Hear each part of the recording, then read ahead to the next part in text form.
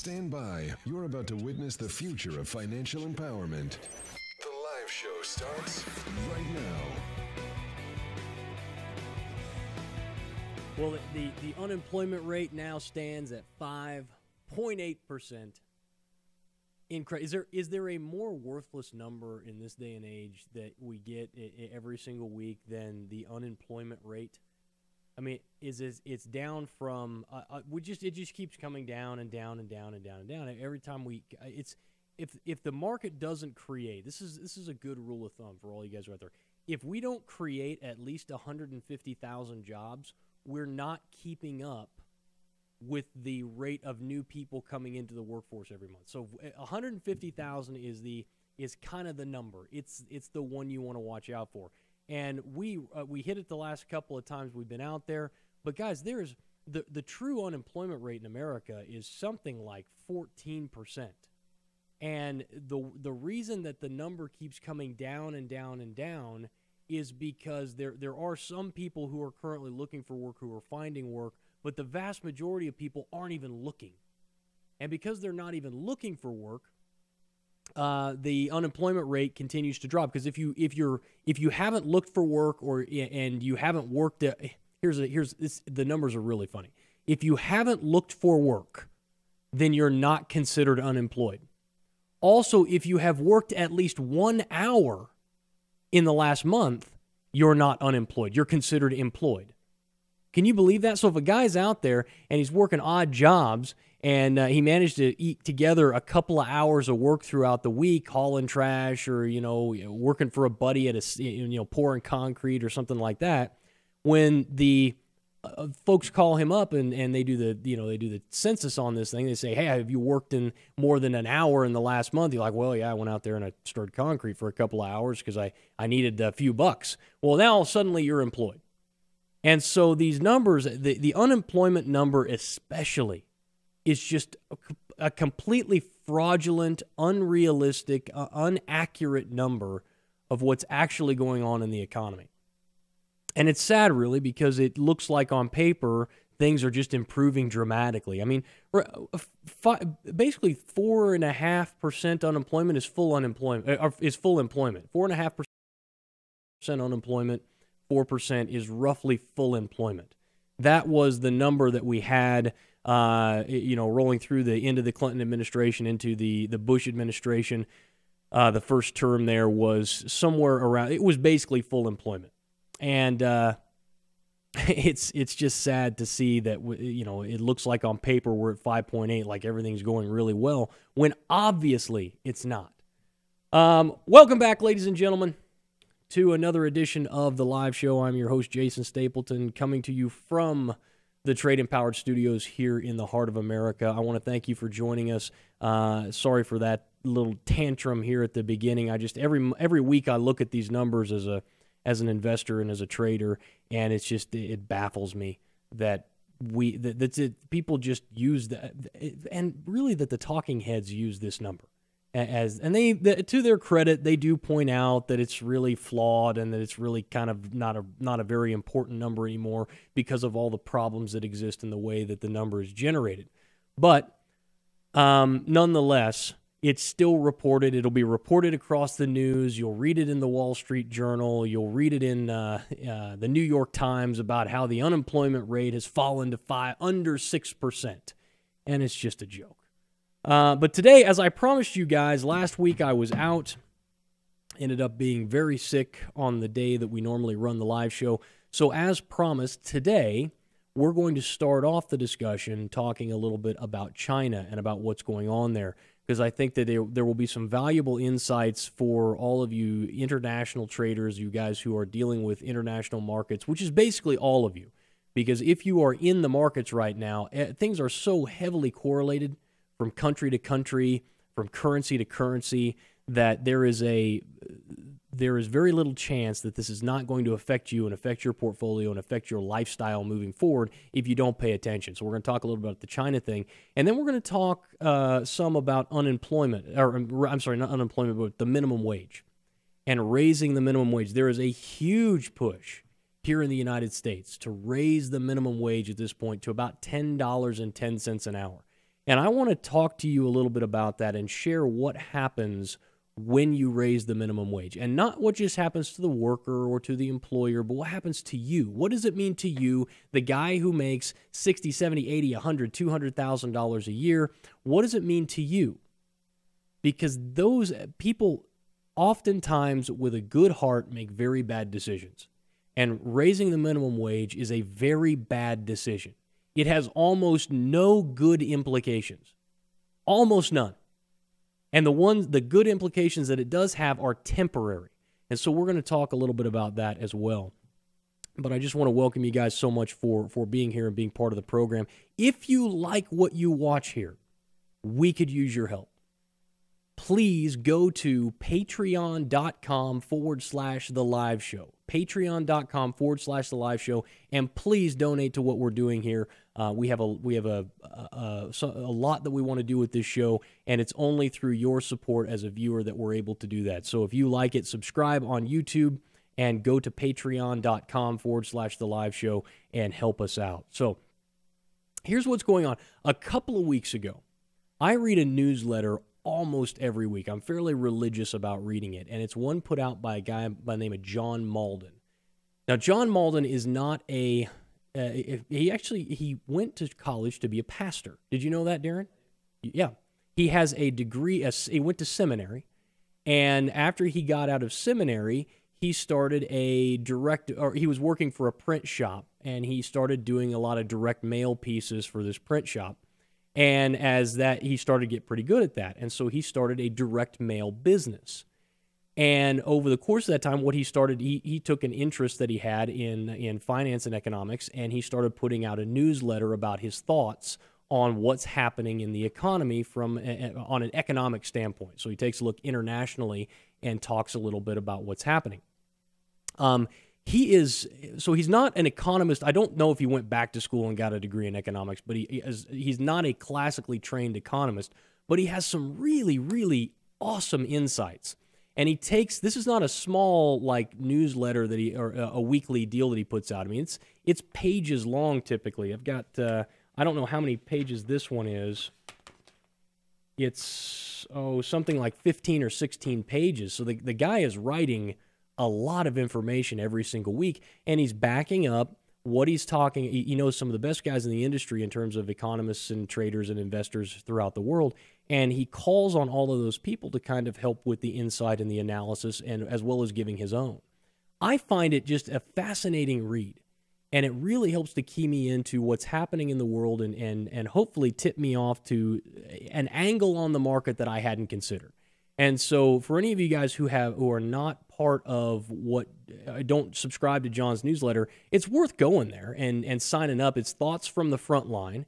He doesn't do very much like you know marketing type stuff. It's really the majority of it is just the newsletter, and uh, and it comes out every week on Friday or Saturday, and it's it's a great read. Well, a couple of weeks ago, he started talking about uh, he was gone, and so he brought in one of his. I think he's an understudy, uh, but he's not like an understudy like somebody who doesn't know anything. He's actually spent several years working on as an analyst on a you know on a billion dollar portfolio, and uh, he knows quite a bit about what's going on in China because that was kind of an area of expertise that he had. So he's got somebody else in writing the letter for him this week or a couple of weeks ago, but the discussion was on China and what was happening in China. Now, the general belief is that China is this this backbone of a of a thriving industrialized nation that's just kicking the butt of everybody else and they're just doing a better job of everything. And they're creating more products and they've got lower labor costs and they're just they're they are the new industrialized world. And to a large extent that's correct and people are worried about uh, China's taking over everything. They're getting all our jobs, and you've got the you know the the hard weirdos that think that you know jobs are being shipped overseas to China, and we ought to you know have legislation to prevent that from happening, and all kinds of madness. Talk about piling one bad idea onto another. But I want to talk with you specifically about what's really happening in China and the real risks that are being posed there. And this is not a new concept. Um, it's fairly new to me. I'm just now digging into the weeds on this, but um, we're going to talk a little bit about it today. Basically, here are some a little bit of facts and figures that I have from 2000 and I think 2010. So they're a little bit behind, but the situation could not is has not gotten better. Let's put it that way. Um, for example, one of the things that happened for about 30 years, China has had plus plus eight percent growth in their country. Now they had a they, they had a long way to come, so it's not like they you know they're generating it from the same place that America or Great Britain would be from but they've had over 8% growth. It's just radical growth. And over the course of that time, they have they've hit a couple of walls. And instead of doing the right thing and allowing the economy to contract a little bit and heal itself and then move forward, they've made some some decisions that a lot of people here in America would think would be good, but are leading to a, a very dangerous outcome. For example, raw materials.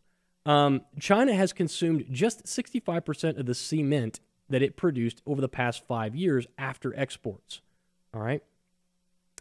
It is currently outputting more steel than the next seven largest producers combined. It now has 200 million tons of excess capacity of steel, more than the EU and Japan's total production so far this year.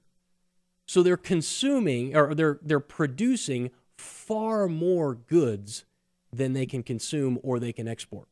So that's problem number one. Number two, property construction. The, there's a current excess of 3.3 billion square meters of floor space in the country, yet 200 million square meters of new space are being constructed each year. So we have a lot of space, retail, commercial, industrial space, that's being created in China, but there's already a massive amount of excess capacity. Does this sound familiar? Do you remember in America, Darren, uh, five, six, seven years ago when you uh, we, we were driving around town? I remember literally on virtually every corner somebody was building a strip mall. New commercial buildings everywhere. Why? Because you could get $35 a square foot for it here in the here in Kansas City, which is a great price, which is a really high price, a premium price for um, real estate here. And so every developer was out there building, and it wasn't the the people were buying it up. But you had huge chunks of strip mall and in uh, commercial buildings that were being built that had no tenants in them. And they were continuing to build. You'd be building one across the street, and there'd be a brand new one going up before the spaces were even leased. Massive amounts of construction. Here's this is another really dangerous one, and we saw this in America too. Average price to rent ratio in China's eight key cities is 39.4 times. The figure was about 23% in America just before the housing crisis. So here's what's happening is there's a large amount of money being created and, and capital flows that are going into production of goods and services that aren't being used because the government runs the banking sector so they're getting very cheap um, they're getting very cheap prices for to borrow money that money doesn't have a lot of places to go. So it's been going into the real estate market, large chunks of it. Okay? And what he says here is, is Chinese corporations, households, and government uh, entities have invested excess liquidity in the property markets, driving up prices to what he calls unsustainable levels. The, prop, the, the result is that the property is out of reach for the majority of ordinary Chinese. Now, we heard this as well in America, didn't we?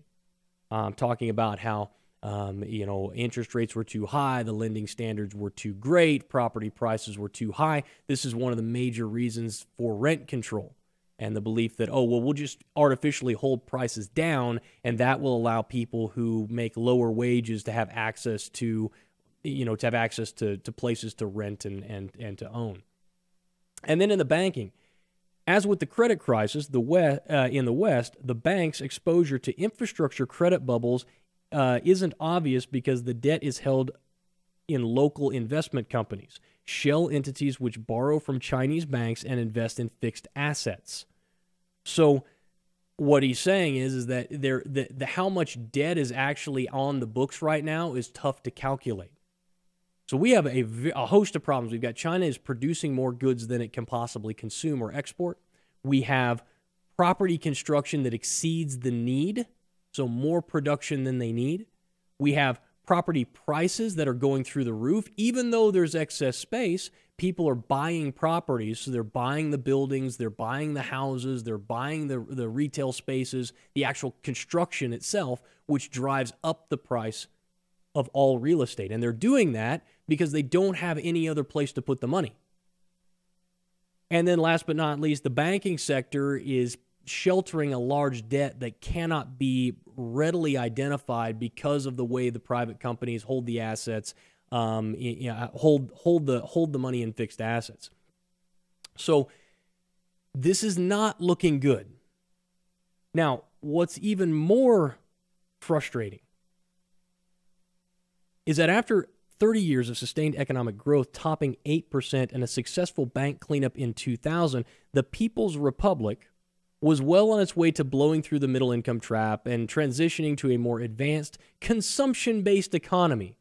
But then in 2008, the banking crisis in the United States abruptly ushered in a painful area of balance sheet repair across the developed world and delivered a demand shock to emerging markets. This is the key rather than allow the Chinese economy to fall into recession at such an inconvenient time, the party leadership sprang into action, stimulated demand with the largest fiscal deficit in more than 60 years, and to mobilize bank lending with historic low interest rates and enormous liquidity injections.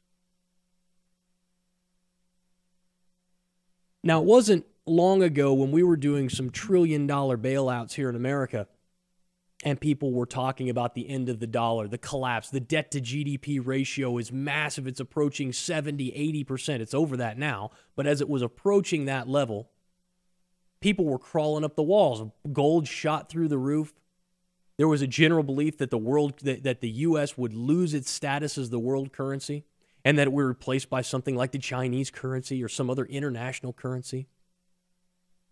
Darren, do you want to venture to guess what the debt to GDP ratio is in China? Guess. 95? Yeah, you're close. You're close. Um, the you could see for, uh, China's debt to GDP grew by roughly 20% per year from just under 150% in 2008 to nearly 210% at the end of 2012 and continues rising through continued rising through 2013. Even more ominous, corporate debt has soared from 92% to 150% today against the expectation that China's government would always backstop defaults. Do you know what China's default rate has been for the last oh, roughly 30 years or so? Take a gander. Zero. China did not allow defaults. You just could you literally couldn't default. Now, if you can't default, if you're yeah, if you are too big to fail, why not acquire debt? And not only that, but the government's giving you, the banks are giving you all virtually free money. They're like, here, come take this cash. Is it any surprise that they're out building uh, building buildings that nobody wants to rent? Is it any surprise that they're then taking the construction workers and people who have jobs now because the government's been pumping liquidity into the market or going out and buying real estate and jacking up the prices of real estate?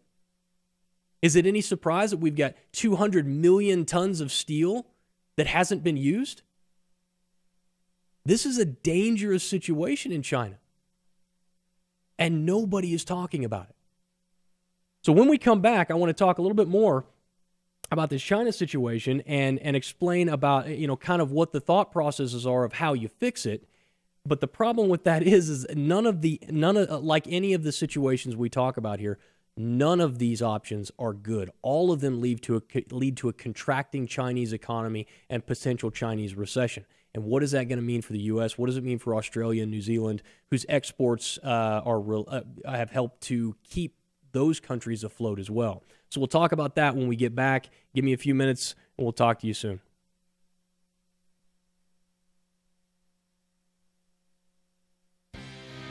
You're listening to The Live Show with Jason Stapleton. For more information, visit us on the web at www.theliveshow.tv. Oh, you know, guys, there is ladies and gentlemen, there are more issues at stake here than simply the fact that there is mounting debt and uh, massive amounts of spending that are happening. Uh, in addition to that, for uh, they're, they're continuing to spend money in China and they're getting less and less of a return on that capital every time they pump more liquidity in.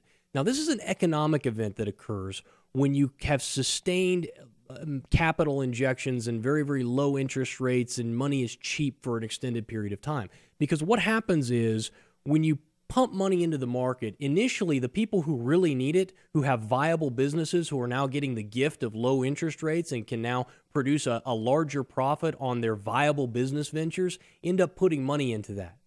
But eventually, they have all the capital that they need. And the question is, well, what do we do now? What's what's the plan? That the money's still here, it's still cheap.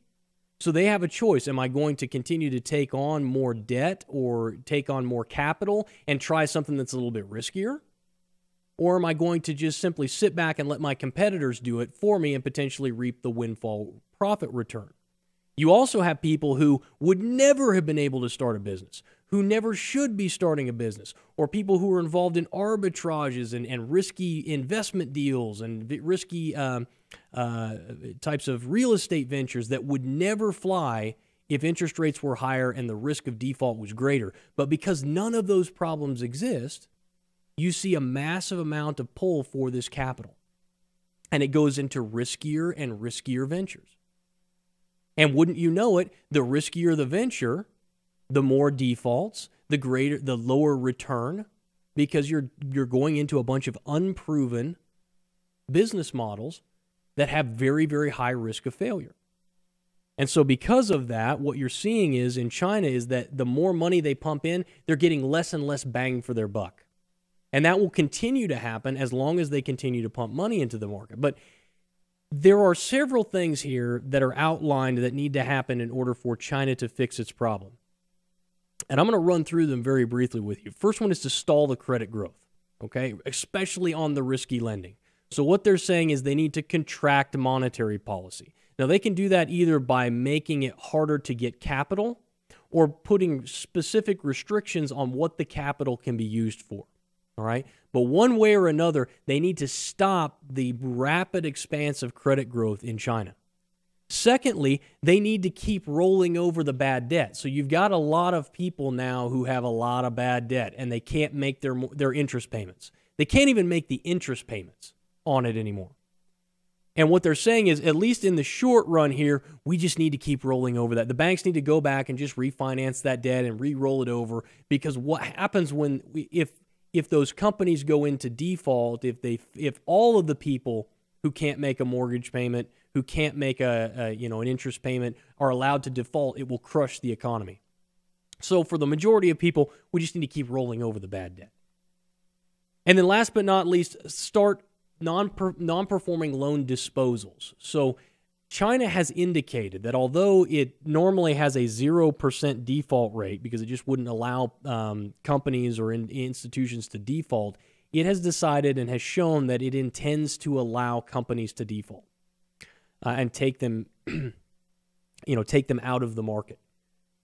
And what this article suggests is that they're going to have to do that at some point. They're going to have to start taking the worst of these cases, or maybe not the worst of them, but chunks of them, and start taking them out and disposing of the non performing loans and write those loans off and take the hits and take the losses. All of that, all three of those things that they're suggesting are going to hurt China's economy. They're going to slow the growth because the, the growth is entirely predicated on cheap li- cheap liquidity being pumped into the market all the time. If you take any of that back, if you pull any of it out, you're going to destroy the economy. There are a lot of people in America who say, well, we just need to balance the budget today. We run a trillion dollar deficit a year, and I don't know why those guys can't just go in there and all of a sudden just fix it and say, all right, we're going to cut this and this and this and this, and we're going to cut a trillion dollars out of the budget, and we're going to have a balanced budget, and the world will be perfect. I can't imagine the firestorm, the recession that would hit if you suddenly pulled a trillion dollars a year out of the U.S. economy. All right? Because, yes, they're printing it. Yes, they're stealing a lot of it from you to put into these other programs. But the bottom line is if you say, if the government says just suddenly all at once we're going to stop spending a trillion dollars, that money does get spent. It does go out. It goes out to contracting companies and it goes out to individuals for, uh, you know, to who get paid by those companies. Go, there's a whole host of things that happen with that. Money gets pumped into the economy. If you suddenly draw that money out, you it would be catastrophic. What has to happen is, is you have to agree. Um, we're going to cut a penny a year off of every dollar that gets spent in government. And over the next 10 or 20 years, you will slowly suck that liquidity out. But what will happen is you will stall some growth when that occurs. There's just no way to avoid it. But China is going to have to start doing that. And anything they do is going to hurt growth. That 8% target that everybody looks at, now they're starting to say, well, maybe it'll be six. I mean, we're talking a significant reduction. For places like Australia and New Zealand, whose major exports are, are mineral ore and minerals, gold, steel, those types of things, those major exports that they have that are going to China. I mean, the real estate market, I don't know if you've looked, Darren, because I've been shopping real estate in Australia. Um, the real estate in Australia is astronomical. They've had, they're, it's a, it's a huge real estate boom over there right now and has been for a long time. They weathered the storm of the global recession really, really well. And the reason they did that is because China was buying all of their exports. And of course, they're buying it, taking on debt, and now stockpiling it after they convert it into a product. So the question is what's it going to do to Australia and New Zealand and some of those types of countries that are major benefactors of the large growth in China? I would expect to see as China tapers back, if they choose to do it, if they'll actually do it, as they start to taper back, it's going to hurt those countries as well. So you need to be prepared if you're in Australia, if eh, eh, um, and some of those types of places. Um, real estate prices and those types of things are probably not going to see the incredible returns over the next decade that we've seen in the last. And one of the very difficult things here is predicting when it's going to happen. Because as I said in, in the book, The Tipping Point, one of the real struggles with predicting when it's going to occur is that we don't know because we don't know what the catalyst is. All decisions, all, markets are driven by psychology, they're driven by the actions of individuals. And it is very difficult to tell how the mass is going to interpret data or what specific thing is going to be the catalyst that will cause the massive landslide. But what we do know is there is a huge hill being built in China right now. And at some point, a grain of sand is going to fall on the top of that and an avalanche is going to occur. And when that happens, you don't want to be standing anywhere close to it. But does that happen this year? Does it happen next year? Does it happen in five years or 10 years? We don't know. That's what makes it very, very difficult um, to predict these types of things until we get right up next to it. But I wanted to bring it to your attention and talk about it because a lot of people think that you just, there's so much misinformation out there about what's really going on in, in the world financially, what countries are doing well, what countries are doing poorly. And most of the time, I'll read you the closing thoughts on this because it really is. He, he had some very big, he had a really nice closing thought here. Let me just find it. I think it's right here.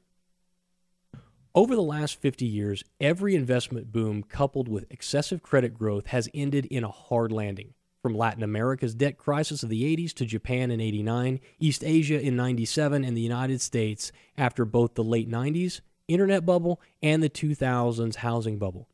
The lesson is always the same it's hard to avoid. Economic miracles, miracles are almost always too good to be true. Broad based, debt fueled overinvestment, which is a misallocation of capital, may appear to kick economic growth into overdrive for a while.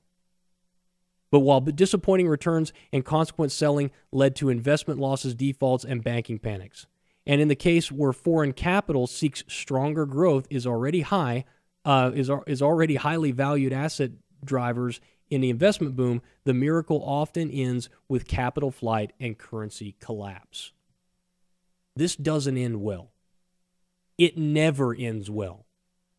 Everybody thinks that they can control it. Every government thinks that they can step in and they can get just the right concoction of debt and credit and when we pull back and when we pump in, and that somehow we're going to create a soft landing here. It never, ever, ever works. And it goes back to one of the core tenets that we preach here is that is that free economies, free people, free societies are not without their problems. You have booms and bust cycles. You have people who are very wealthy and those who are very poor. But how do you provide the most opportunity to the most amount of people and provide the highest standard of living to all people? Will you do that with the freest society possible? And anytime you start gumming up the works, anytime you start messing with interest rates, anytime you start arbitrarily setting interest rates or wages, which we're going to talk about in a minute, the unintended consequences of that are disastrous. And if you're not, if you don't understand these principles, if you don't understand what happens when you create cheap money for extended periods of time, when you when you set when you have companies that are too big to fail, then you end up biting off on the belief that hey, the Federal Reserve does have a responsibility. Booms and busts exist whether you've got a puppet master pulling the strings or whether you've got a free market. One of the things we do know is that in a free market, the recessions are less deep, the highs are less high, and the time frame from low to high is much faster. I mean, the Federal Reserve's been gumming up the works here for the last, uh, you know, five, six years. Well, since 2008, it's 2014. Have they been able to create any type of growth? No. It's been stagnant. We're just now back to the employment that we had in 2008, which means every single person who's entered the workforce until now still doesn't have a job. Now, explain to me how the unemployment rate's 5.8%. How does that work? It doesn't. Let me save you the trouble. It doesn't work. That math does not work. And when we come back, what I want to talk about is I want to get into this this unemployment thing, and I, I want to have a real conversation with you, not some sort of like political, um, ideological angle on uh, minimum wage prices. I want to explain to you what really happens when you raise the minimum wage, uh, and and share with you a little bit, and and pose some questions to you that are going to be very, very valuable in your analysis of whether or not we ought to be talking about this in America. So stick around. We'll be right back.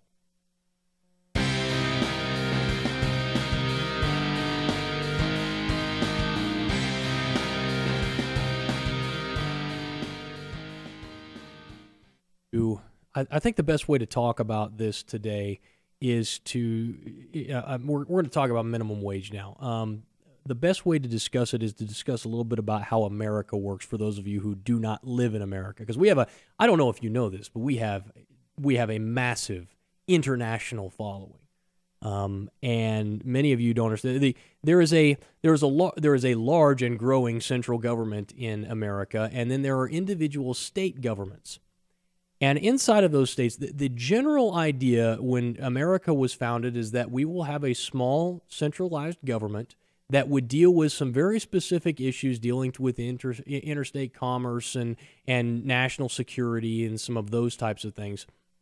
But that all um, all of the roles and responsibilities not express uh, expresses uh, yeah expressly provided for in the Constitution will be left to the states or to the people.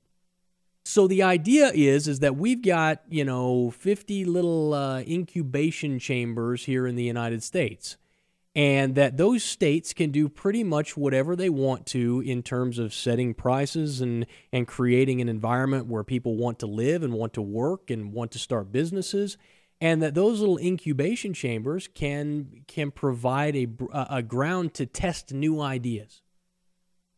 And so the beautiful thing about the states the way we've created it is is that if Wisconsin wants to raise their corporate taxes to 90%, and Texas doesn't want to have a corporate tax, you get to see the ramifications of that. You get to see what it costs Texas to not have that revenue, and you get to see what it costs Wisconsin in terms of their in terms of the diminished number of companies that will move there in order to start their businesses. You also see the flight of individuals from one place to another based on the type of taxes state taxes or no state taxes, how much regulation they want to apply on a specific company or on individuals, how difficult they want to make it. All of these things have an effect, and it causes people to move from state to state, from area to area. It causes uh, specific uh, states to go in, in boom and bust cycles on their own. And it's wonderful to be able to see that. And that is the i believe that was a framer's intention when they put that together it may not have been to create incubators but the idea that you would have a set of free and independent states that could operate uh, you know largely on their own was a, a concept that they developed when they founded the country article in investors business daily today or this week was minimum wage increases gain momentum in the states obama democrats see campaign issue businesses say hikes will cost jobs. So, places like Maryland and Connecticut are now agreeing to raise their minimum wage. Uh, Maryland here from uh, the current $7.25 an hour to $10.10 an hour by 2018. Um, and then that's about a 40% increase in the minimum wage. 40% increase in the minimum wage between now and 2018. They're going to be phasing that in, and I think Connecticut was uh, the same thing, minimum wage uh, to 950 an hour, or that's Minnesota to 950 an hour um, in steps starting in 2018. So basically, these guys are going to start looking at raising their minimum wages, and the question becomes: now, first of all, if states want to raise the minimum wage, I think it's a stupid idea, but you can certainly do that. There's nothing. There's nothing saying that states cannot raise their minimum wage and provide um, unskilled labor a higher rate. But this is what I want you to remember. The question is: Is this a good thing? Is it a good thing for the laborer? Is it a good thing for the for the company? And is it a good thing for you, someone who has nothing to do with either? And the first thing that I want you guys to think about is every time you hear minimum wage increase what you're really talking about is what is the minimum price for unskilled labor? Because, ladies and gentlemen, people who are involved in minimum wage jobs are typically those of very low skill. And I use the example of a uh, of a, of me, for example. Um, I know nothing about working at a, at a burger joint. Absolutely nothing. If I showed up at a burger joint and I wrote out my resume international currency trader, talk show host, company, you know, founder of uh, one of the largest trading education companies in the world and i would have wrote that down and i slide that across the sheet to the manager who's sitting behind the desk and i'm applying for the fry cook position he's going to look at that and go well that's awesome you may be a bit overqualified to run the fry machine here at the at the, the Happy Meal uh, at the uh, at the Happy Burger, but you don't know anything about running a burger joint or even working in a burger joint. Therefore, if I hire you, you I have to teach you everything. Not only that, but there's a risk that you might leave next week and all the money that I spent on you will be worthless and I've spent time training you up just so you can go somewhere else. And so, look, I got no idea of your work ethic. Maybe you blew everything up and that's why you're here looking to flip burgers and work a fry machine. So, here's what I'll do I'll pay you five bucks an hour. That's really all I'm willing to invest in you. And I, and I really need the job because, uh, you know, trading hadn't been going so well and the show's not taking off and we're not making any money, right? So I take the job is the frog. So I show up the next day and I got some, you know, pimple faced 14 year old who's teaching me how to run the fryer and giving me my little uniform that the company had to pay for. And I'm figuring out how to use the headset and how to take the orders and how much shaker salt I got to put on the thing and all this stuff. I'm, I'm putting that all together. I'm getting paid nothing for that because I'm skillless. All right? This is what happens when you come into an organization. Now, what happens? After I work there three months, six months, a year? Well, if I've done a good job, if I've worked hard, the company has moved me from the fry position to the burger flipping position and I'm learning how to make the burgers, and I got that down. I got the you know the Super Mac uh, burger that I know how to make, and I can make the French fries. I can run the drive-through, which is like the hardest thing to do apparently in a fast food restaurant. And I got a pretty good head on my shoulders, and so you know I'm increasing productivity, and things are starting to happen. And before long, the assistant manager who was working at the Happy Burger decides he's going to go over to Tom's Burgers, and there's an assistant manager job that's opened up and I say, hey, I'd, I'd like to have that assistant manager job. And they say, all right, we'll give you a try. Then pretty soon a management job opens up. But I don't have a college degree, but that's a requirement. And so then I start going to night school after I'm done. I'm, I'm making, I'm doing a lot better than minimum wage now. Doing a lot better than minimum wage. And I got the opportunity now. If I want to work extra hard, I can go to night school and I can work my way up into a manager position. Or maybe Tom's Burgers doesn't require a college education to work as a manager. And that's why the other assistant manager left. I now have all the skill sets that I need to be competitive in any burger restaurant. This is how people at McDonald's go from fry guy to owning McDonald's franchises. It happens. But those people who are making minimum wage are folks who are young, who are new, who are coming into the workforce. We're talking about five, about 5% of the workforce. They're either young and skillless or they have made some mistakes in their life to be a 35 year old fry guy. Either that or it's a temporary situation when they're moving between jobs and they're trying to pick something up. My point being is that for those people who want to work their way up, the, the, the low end job, the entry level job, is the catalyst to get in the door when you raise the cost of unskilled labor, there, a, there are a massive amount of unintended consequences that happen to the worker. So let's start with the worker, okay? Because the, the general premise here is that the co- is that we need to pay people a livable wage. And I'm using my air quotes for those of you who are watching this on or listening to this on iTunes.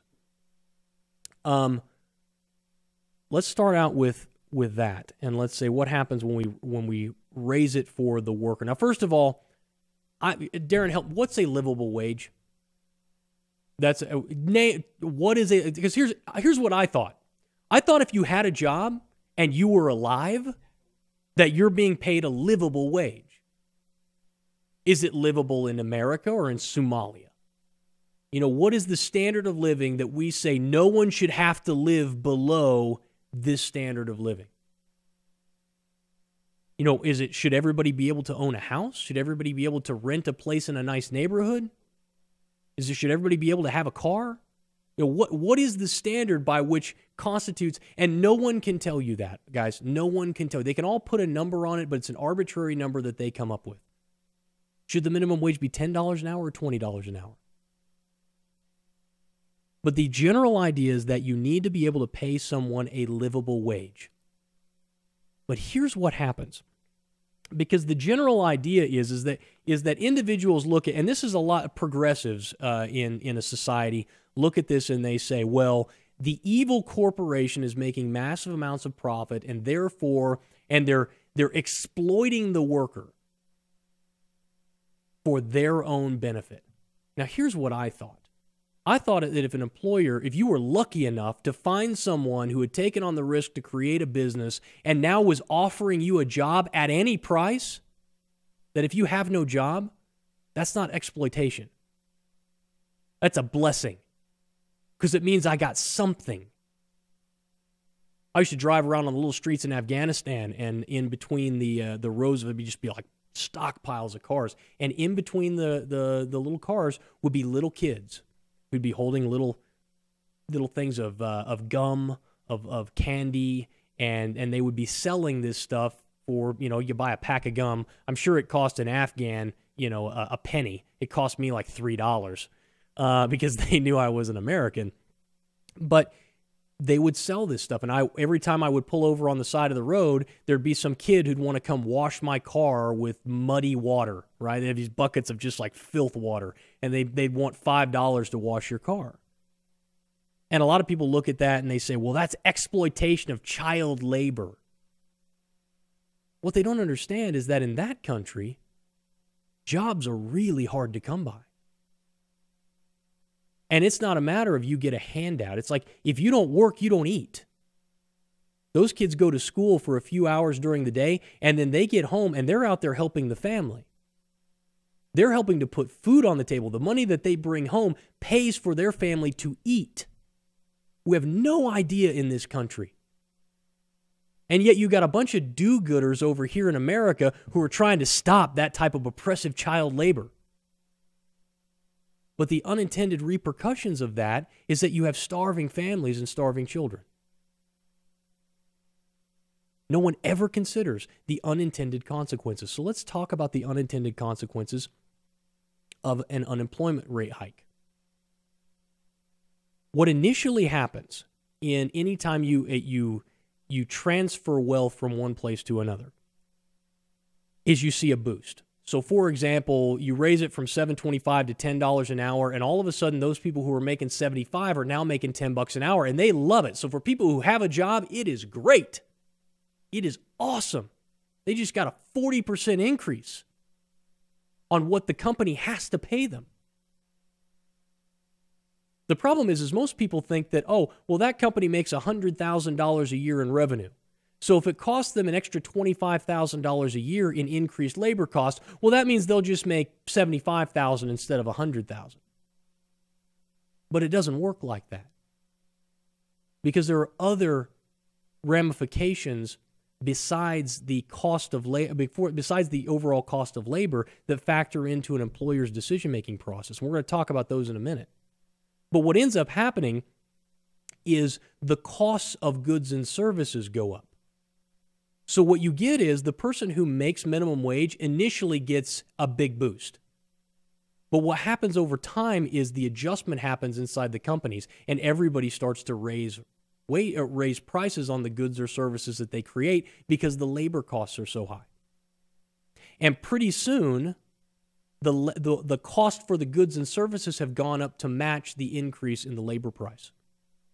So, any benefit that a low income worker is going to receive is quickly going to be eaten up in the economy as the costs of goods and services go up because the production costs go up. Not only that, most of the places where low income people work is also the place where most low income people get their goods and services. Fast food restaurants, um, clothing chains, uh, places like Walmart, which we'll look at here in a minute. All of these types of things are things that affect low income workers. So it disproportionately affects them when prices increase. So it doesn't help the worker. It does for a very brief period of time, but then any help that might have occurred vaporizes. The second thing that happens is people who want to get a job. Remember, I'm sitting across the table from the manager who's looking at my application and saying, "Look, you don't have any skills at this. I do need somebody, but I I'm, I can't pay you any more than X because of all of the other risk factors that are involved here." And so I'm willing. I can pay you X, but I can't pay you anymore. Otherwise, the risk just isn't worth it. If it ends up working out, I'm, I'll, I can increase your pay, but you coming into the workforce here, I can't pay you more than X amount of dollars. Say five dollars an hour. Let's just say seven dollars an hour because that's the minimum wage here.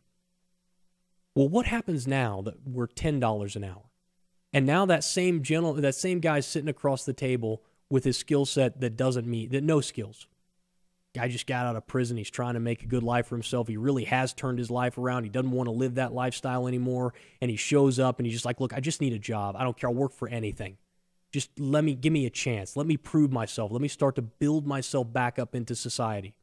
Or you've got a young kid who's from the inner city and he doesn't want to fall into the lifestyle that a lot of these kids fall into. And he says, Look, I'm going to make a change and I'm going to go and I'm going to try and find a gig. I'm going to work every day after school and, and I'm going to be consistent about it. I'm going to try and get an education and save my money so that I can go to college so I don't have to live this sort of lifestyle anymore. And he sits down in front of that employer and that employer looks at him. He says, Listen, man, I just I can't take I can't take the chance. It, it, I can't get my money out of you. That you there you are there is too many risk factors here, and there are too many things that um, the the what I get out of you in production doesn't give me enough profit to make justify the expense. So I can't hire you. You also have the individual, the the untold consequences of of shops that don't get opened up. Somebody who owns a hamburger stand or somebody who owns a small restaurant who decides who maybe under different circumstances with cheaper labor costs would have opened up a second store. But now because the labor costs have gotten so high, he can't do that or he doesn't feel like the risk is worth what he could potentially receive in benefit.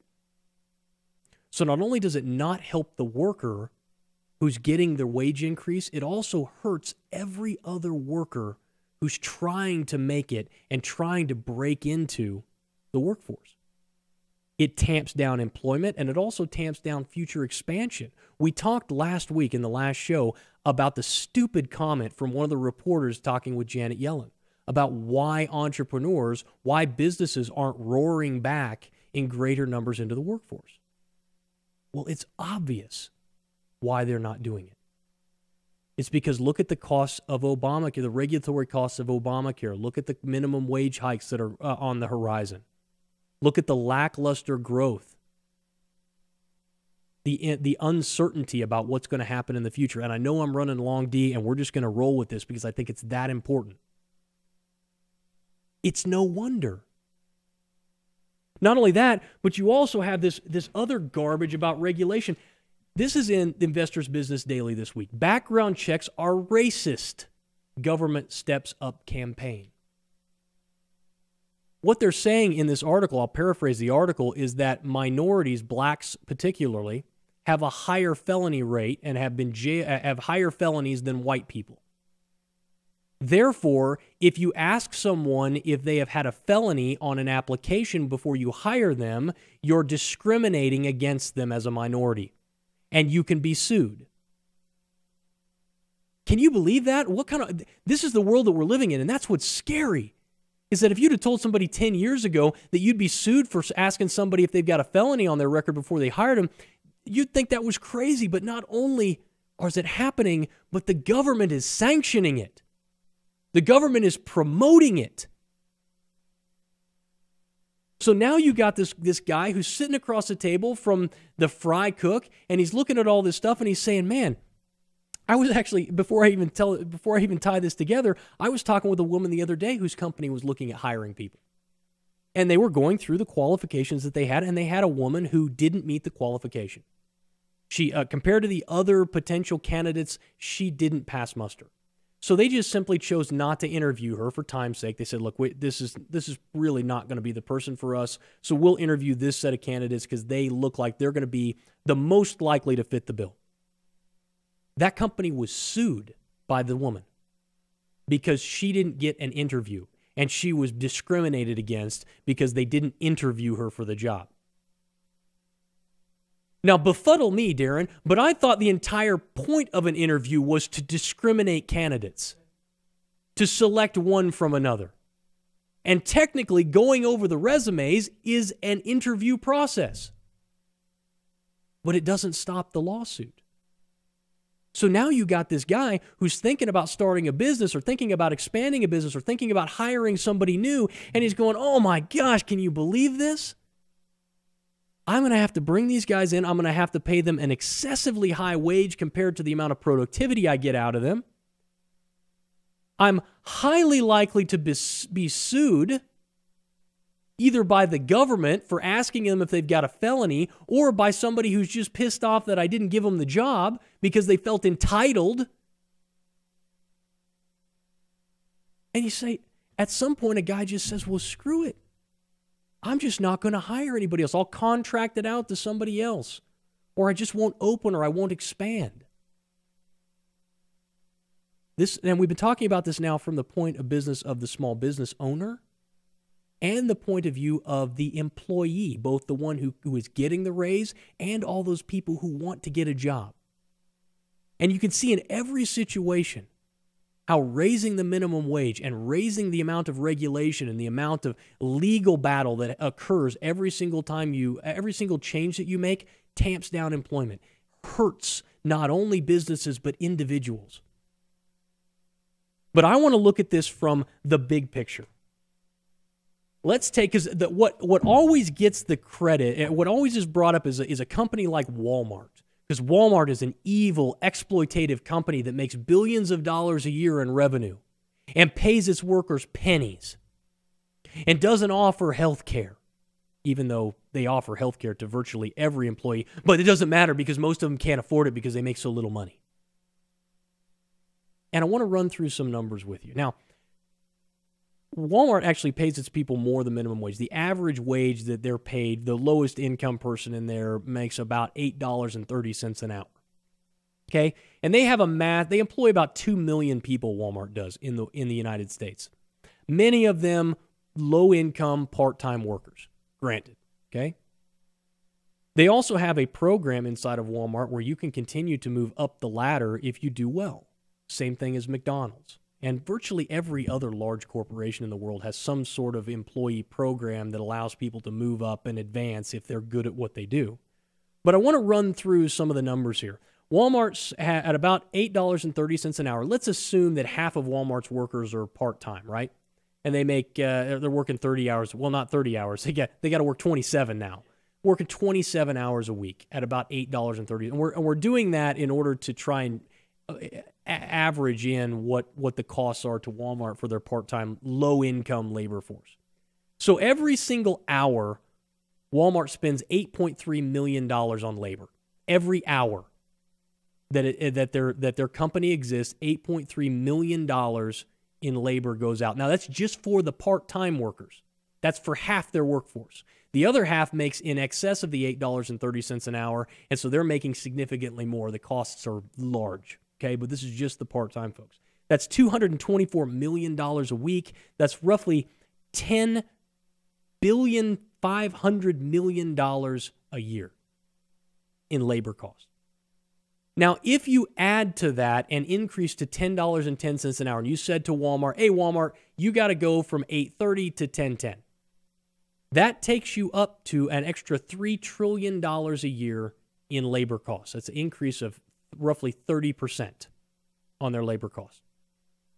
Now, Walmart makes their net income. So, that for those of you who are not technically or are not financially savvy, net income is the income that they, they actually take home. It's like your take home pay. After the government takes their chunk and you pay for your health, your percentage of your health care, and you put a little money back in retirement, what do you actually take home in your paycheck? That's the net income.